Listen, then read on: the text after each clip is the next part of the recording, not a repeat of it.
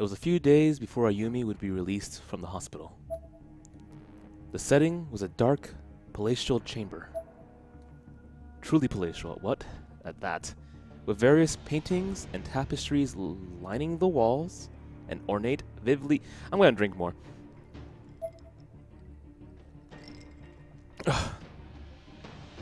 Along with a variety of human and animal shaped objects placed here and there.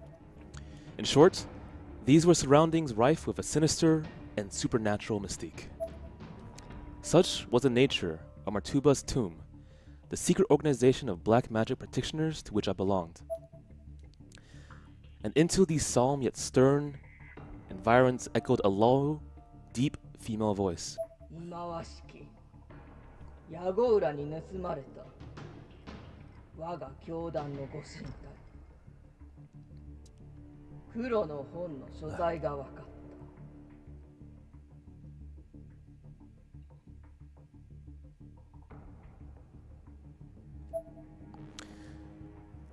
There was a slow, heavy cadence to her voice and a degree of archaism to her speech that perfectly conveyed both authority and experience. This was not something to be questioned. Surrounding me in the sacred space were numerous shadowy figures, each wearing a black robe. We looked an awful lot like the pop culture perception of devil worshippers.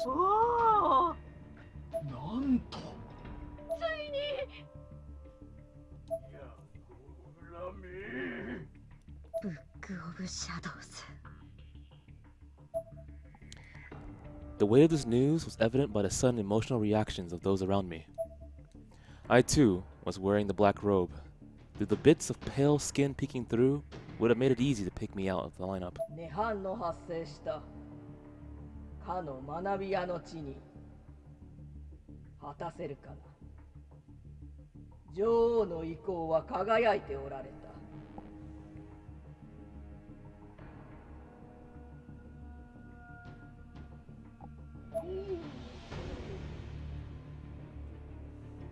やはり教祖様は正しい娘はお役に立てたのでしょうか There was a palpable sense of excitement throughout the chamber. マガリマガリよはいセカンドディグリーマスターマガリよ何時には期待をしておる That's that's the black robe you're talking about? You know, if you wore that black robe out into the public, I would just assume it's like a, a coat or something to keep you warm.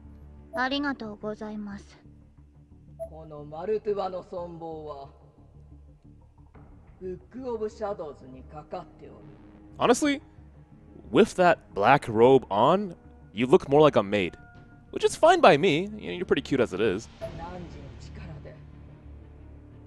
必ず取り戻してくるの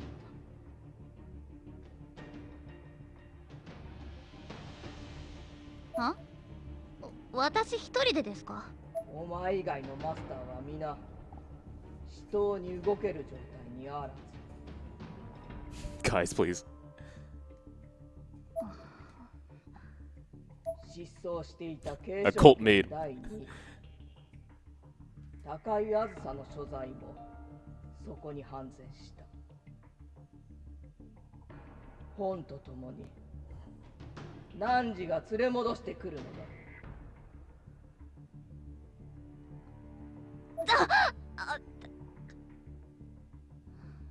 はい I had no qualms about talking back to our high and mighty leader, but some fights you just can't win.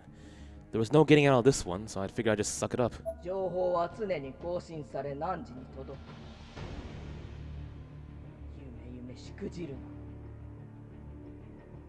期待をたがえば何時には教祖継承の日は及ばぬものと知れ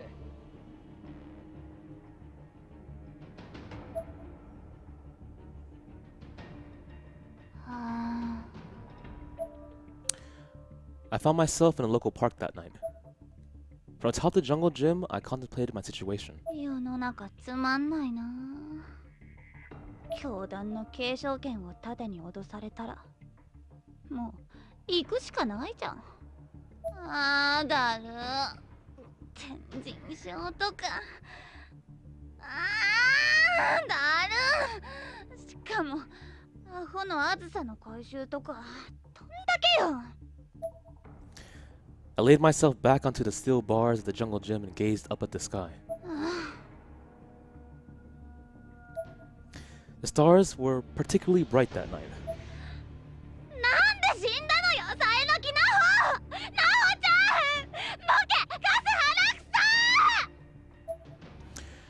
I could almost make out Naho's wry smile in the sky above, as if she somehow become a consolation after her passing.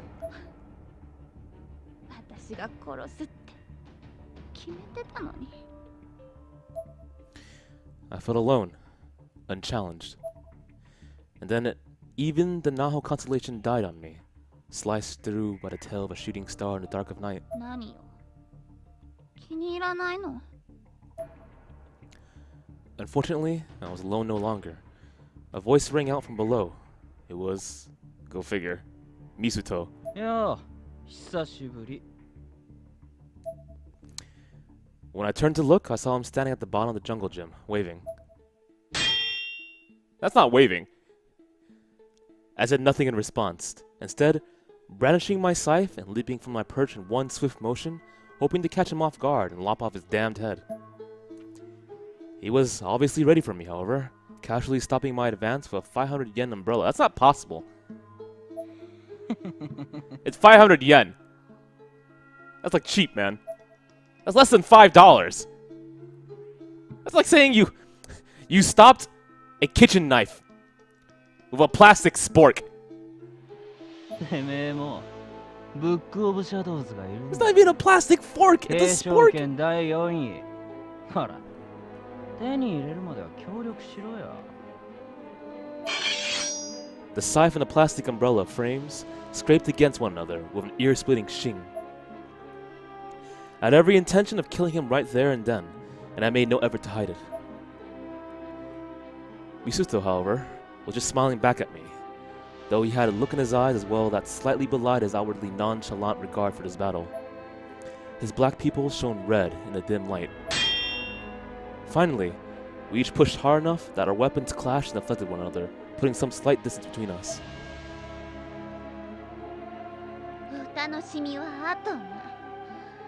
この潰れ損ないの野望裏が With a flick of the wrist, I shrank my scythe back into a portable form and sheathed it. Then crossed my arms and smiled. ああ殺し合いはその後だ我慢しろ俺も殺したいんだマルトゥバすべてが終わったらきっちりと息の根止めてやるよ協力のための認識の共有だてめえの目的はブック・オブ・シャドウズの完全体を取り戻すことブック・オブ・シャドウズの中身である涅槃とそのコアを器であるあの本に戻して初めてブック・オブ・シャドウズは完全なご神体となるだな Ah, so that's the plan. Okay, I get it now. その涅槃は過去によしえ篠崎家の血を媒介に呼び覚まされたもの。その血を引いている篠崎あゆみでなければあの本に封印はできない。だから涅槃天神賞へあゆみが再度向かうように仕向けるわ。篠崎牧野の団地に向かわせる。Misuto had his arms crossed as well. It was about as reluctant as a truce as they come. あの女が死んじまうようなことがあれば元も子もないぞ。分かってるわよ。クソいまいましいけど援護するし。そうしろ。俺は俺で動く。はあ。協力と言ったって早い者勝ちよあの本があんたの手に入ることはないからチビパーカこっちのセリフだクソビッチ He turned to walk away, but not before chucking a knife in my general direction. Really? It grazed my cheek before embedding itself in a park. in the parka. In the bark of a tree behind me. Though I made absolutely no attempt to dodge it, nor did I allow my expression to change even marginally. 上等 Because that's just anime. I smiled widely, drunk on my own insane machinations. The pieces were all falling into place.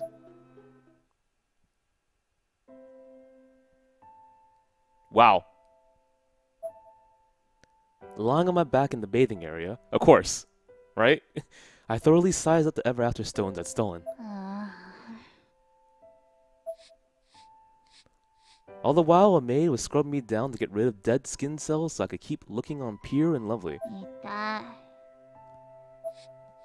The maid just flashed me a smile.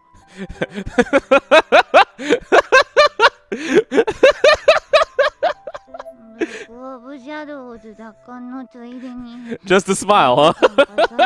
oh boy, why?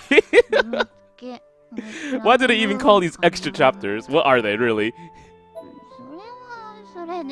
This is, this is why I need to drink at night, you see? It's stuff like this. I hope you're drinking with me. The vehement scrubbing was making a was making my body vibrate quite a bit. And between that and my monologuing, I wound up biting my tongue. Immediately, I shot to my feet.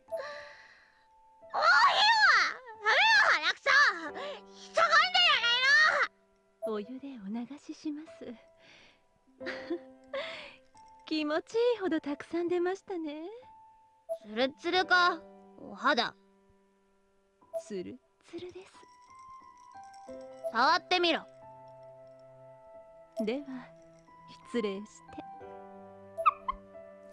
Sure enough. sure enough, when the maid ran her fingers over my body, the resistance they found created a sound not unlike that of a freshly cleaned plate. おお赤すりもなかなかいいものだなうん 許してやる D- did they really need that scene? Let's be honest here. You could have skipped from the park directly to this and it would have been okay.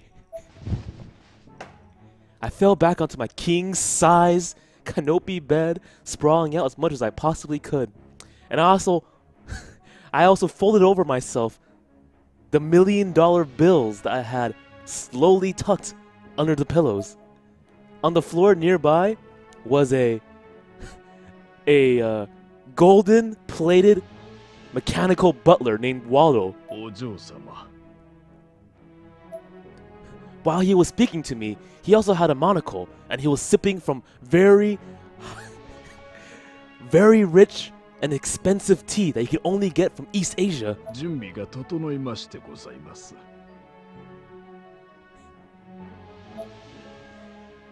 I turned my head and looked down at the suitcase.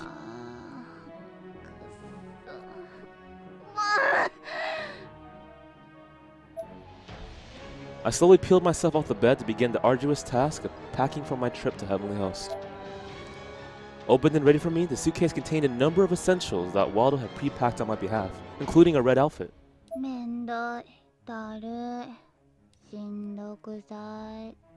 With his reassurance, he told me that wearing red and white was the same thing as being in stealth.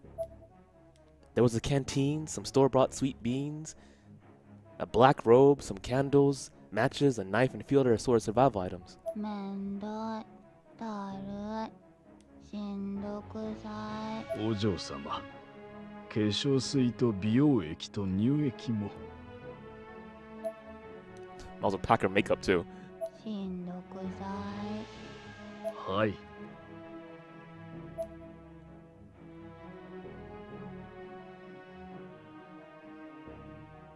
That's it? Okay, I'm fine with that.